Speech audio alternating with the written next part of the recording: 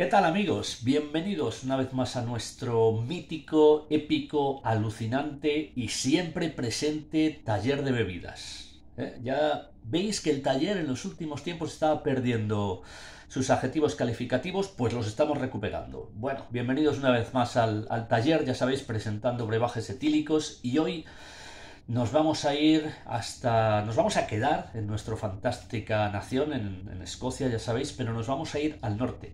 Nos vamos a ir hacia arriba. Eh, nos vamos a ir a la parte más al norte de Escocia, concretamente eh, a una pequeña localidad llamada uh, que queda um, un poquito más al, norte de Inverness, por, porque os ubiquéis en alguna localidad medianamente conocida. Bueno, pues un poquito más al norte de, Inverness se encuentra Malachi y de, y de allá viene esta cerveza que, os voy a presentar, fabricada en eh, la Black, Black Isle Brewery. Acá lo veis, la Black Isle Brewery, y concretamente, bueno, esta gente eh, fabrica diferentes tipos de cerveza, vamos a ver que de una manera bastante, bastante peculiar, y tengo ciertas esperanzas en que va a ser una cerveza interesante, o cuanto menos con buen sabor. Luego ya veremos, en ocasiones me decepciono.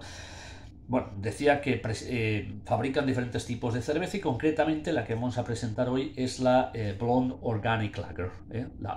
nombre completo, con lo cual Black Isle Blonde Organic Lager, que es pues básicamente de esta gente Black Isle eh, la, cerveza tipo lager. Fabrican también stouts, eh, Indian Pale Ales, diferentes tipos. Creo que fabrican hasta 10 o 12 diferentes. Bueno, pues esta es la, lager. Interesante lo de orgánico, ¿eh? que, es una cerveza orgánica. ¿Por qué? Si por algo se distingue esta gente de Black Isle, es que parece que todos sus productos los, los fabrican de esta manera, con productos con materias primas orgánicas, respetando mucho el medio ambiente. Bueno, acá detrás hay una, hay una leyenda que nos presenta un poco.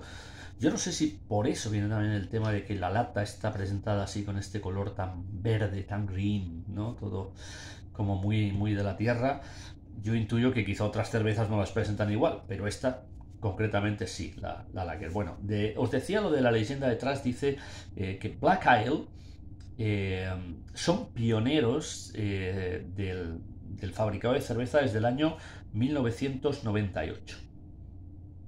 Dice que hacen cervezas con un sabor excelente usando solamente cebada y lúpulo completamente natural, sin el uso de ningún tipo de productos químicos que puedan dañar fundamentalmente el sabor.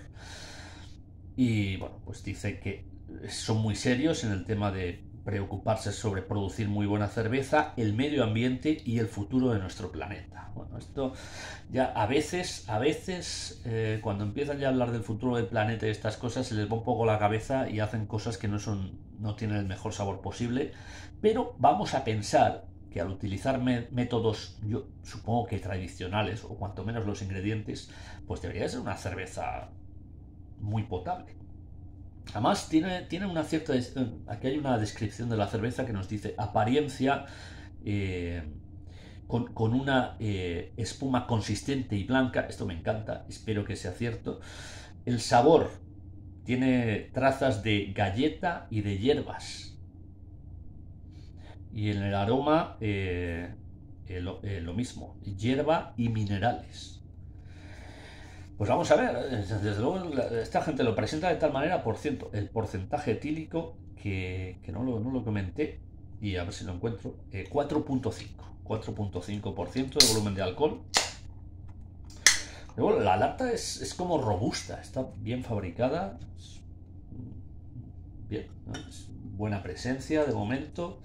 Y ahora pues vamos a ver qué es lo que realmente nos ofrece. Si es realmente una lager, que esta gente muchas veces, estas eh, breweries pequeñas, independientes, en este caso Black Isle, no es una grandísima brewery, eh, no es una multinacional, vaya, por así decirlo, pues suelen hacer cervezas que al intentar hacer una lager hacen cualquier otra cosa. Les sale un IPA o les sale un engendro, un híbrido raro. Bueno, vamos a ver. En principio, bueno, la, presencia que vemos del aspecto de la cerveza no parece una lager precisamente. ¿eh? Fijaos que es como bastante turbia. Es ciertamente turbia y tiene un color como muy pálido. Bastante gas, eso sí. Y efectivamente, fijaos en la espuma, porque es lo que decía acá en, la, en la lata, en la leyenda, ¿no? Que era una espuma consistente y muy blanca. Pues sí, sí, en ese sentido es cierto. Aroma a minerales y hierba. Supongo que lo quieren hacer como muy natural, muy de la tierra. Yo, yo no, la verdad es que también con la trompa esta que tengo, que la tengo desviada, pues tampoco puedo oler demasiado bien. Pero lo que nos interesa es el sabor, como siempre.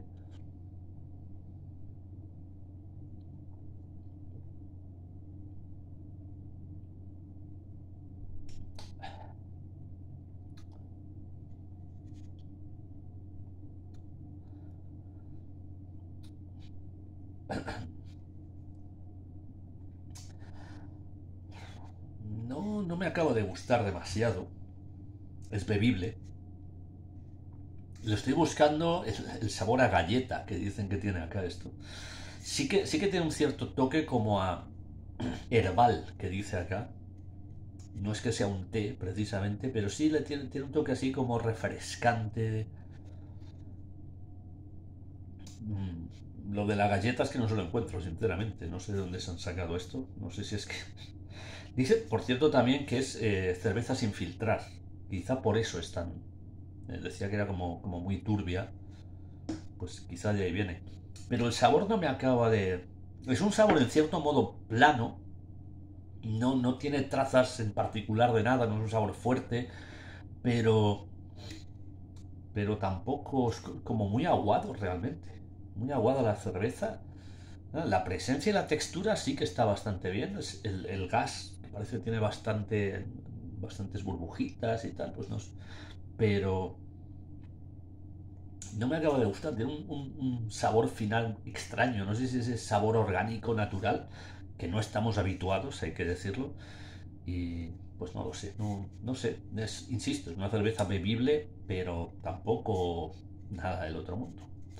Pero bien, bueno, hay que conocer las cosas que se hacen en el norte de Escocia, por supuesto. y un día de estos a lo mejor hasta nos vamos a, a buscar la, la esta y hacer una cata ahí en, en persona, en el lugar. Venga.